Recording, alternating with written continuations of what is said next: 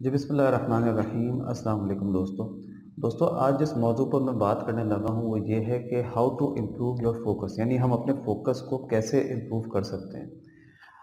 अक्सर व बेशतर जो हमारे यहाँ लोगों के साथ मसाइल होते हैं, वो उनकी एक बड़ी वजह ये होती है कि हम, हमारा फोकस जो है वो दुरुस्त नहीं होता है। हमें फोकस करना सिखाया नहीं हो गया होता या हमें फोकस करना आता नहीं है। या ये कि हम कंसंट्रेट सही तरीके से नहीं कर सकते हैं एक सिचुएशन के अंदर।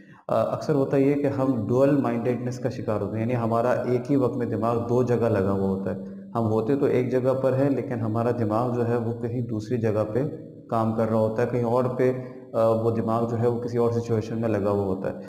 यानी फिजिकली हम एक जगह पर मौजूद हैं, लेकिन मेंटली हम कहीं और होते हैं या किसी और सिचुएशन के अंदर हमारा दिमाग जो है वो वॉन्डरिंग कर रहा होता है। यानी घूम फिर रहा होता है हमारा दिमाग।